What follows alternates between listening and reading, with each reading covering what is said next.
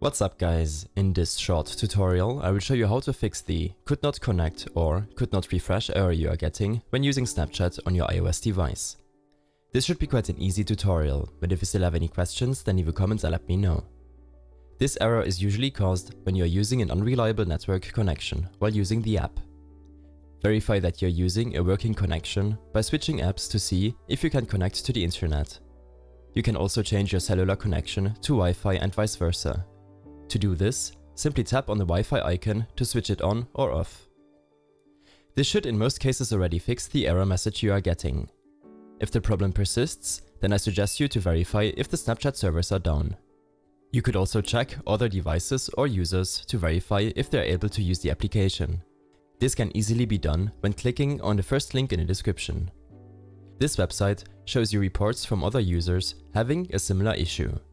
You will see the amount of reports and when opening the live outage map, you can verify where these reports are coming from. If you encounter a surge in reports, then the only solution to your problem is to wait unfortunately. If you see a low amount of reported problems and you are still getting the error, then restart the application by fully closing it and make sure that it is up to date. The App Store enables you to update the app if it's not already up to date.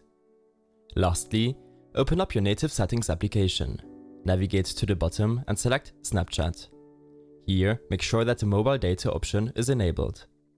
I hope this helped you out, leave a comment if you have any questions and see you in the next one.